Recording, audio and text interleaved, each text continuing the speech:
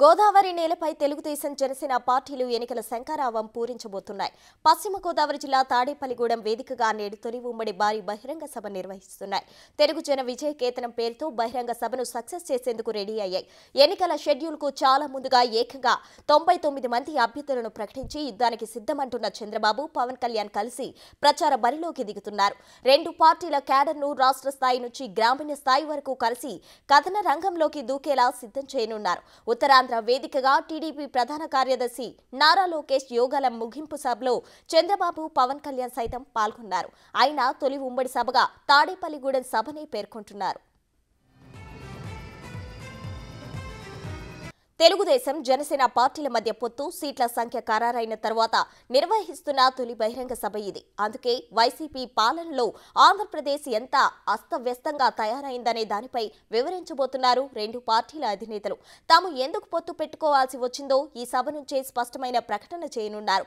రెండు పార్టీల శ్రేణుల మధ్య విభేదాలు సృష్టించేందుకు జరుగుతున్న ప్రయత్నాలపై గలమెత్తనున్నారు. కార్యకర్తలు ఎంత బాధ్యతాయుతంగా కలిసి కథన రంగంలోకి దూకాలో దిశానిర్దేశం చేయనున్నారు.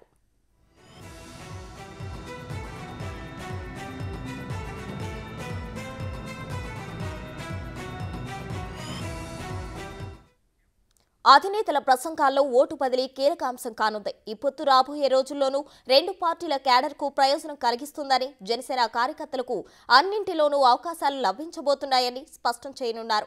టీడీపీ జనసేన ప్రభుత్వంలోనూ సంక్షేమ పథకాలు ఉంటాయని ప్రస్తుతం అందుతున్న ప్రయోజనాలకు మించిన సంక్షేమం ప్రజలకు అందించడంతో పాటు రాష్ట్రంలో అభివృద్ధి పనులను పరుగులు పెట్టిస్తామని చంద్రబాబు పవన్ కళ్యాణ్లు సంయుక్తంగా ప్రకటించబోతున్నారు.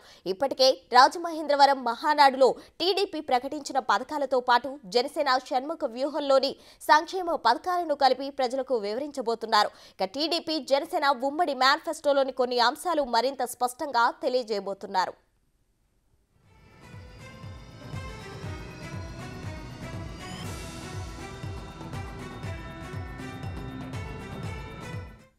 ఉమ్మడి ఉభయ గోదావరి జిల్లాలకు సమీపంలోని కృష్ణా జిల్లాకు ఎంతో అందుబాటులో ఉన్న ప్రాంతంలో ఈ భారీ బహిరంగ సభ నిర్వహించబోతున్నారు.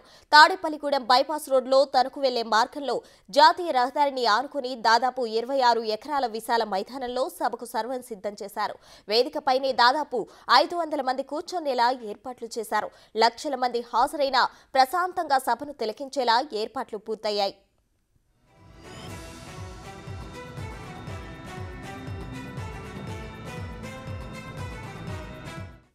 ప్రధానంగా ఉమ్మడి ఉభయ గోదావరి జిల్లాల నుంచి పెద్ద ఎత్తున జనసేమీకరణ జరుగుతోంది. మహిళలు కూడా పెద్ద సంఖ్యలో ఈ సభకు తరలి రానున్నారు. వందలాది మంది పోలీసులు మంగళవారమే సభా వేదిక వద్దకు చేరుకున్నారు. బందోబస్తు ఏర్పాట్లపై అక్కడే సమావేశమయ్యారు. సభ ప్రాంగణం వద్ద భారీ స్క్రీన్లు ఏర్పాటు చేశారు. టీడీపీ రాష్ట్ర అధ్యక్షుడు అచ్చెన్నాయుడు జనసేన రాజకీయ వ్యవహారాల committee chairman Nadendla Manohar TDP నేతలు పత్తిపాటి పుల్లారావు నిమ్మల రామానాయుడు జనసేన నేతలు కొడికలపూడి గోవిందరావు కందుల దుర్గేష్ తదితరులు తదితరులు ఏర్పాట్లను పర్యవేక్షిస్తున్నారు.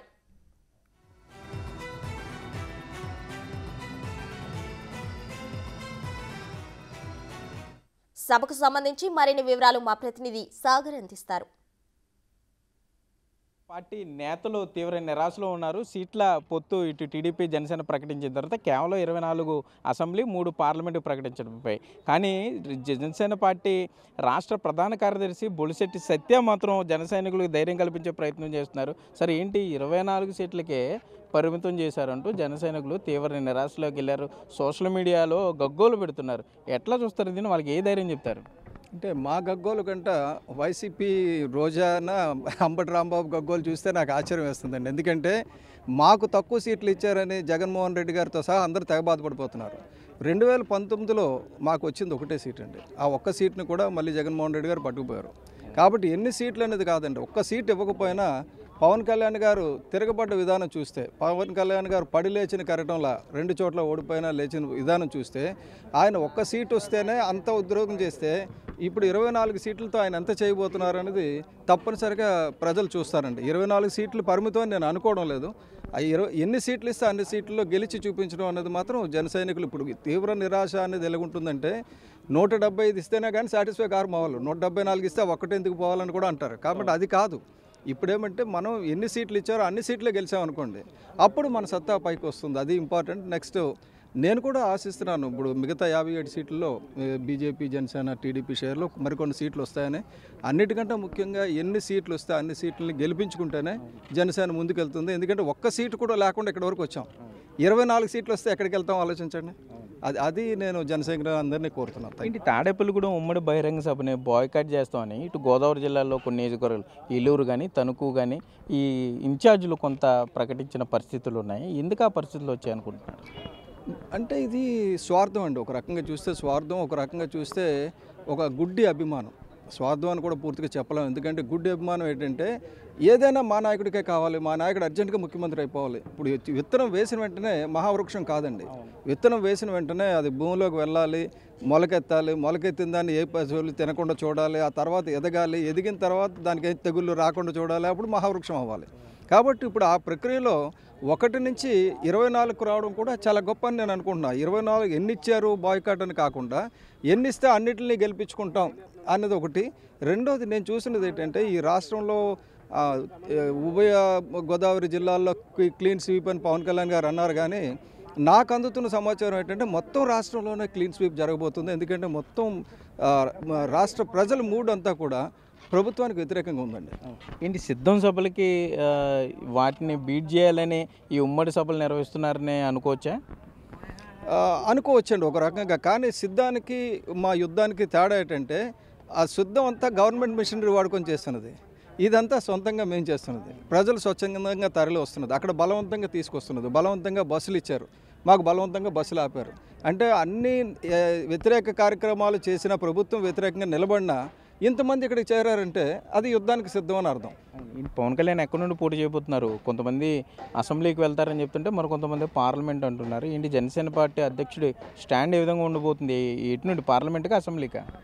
జ- పవన్ కళ్యాణ్ గారు ఇప్పటికే నాకు తెలిసి సూచన మేరకు భీమవరం నుంచి పోటీ చేస్తున్నారనేది సూచాయిగా తెలిసిందండి.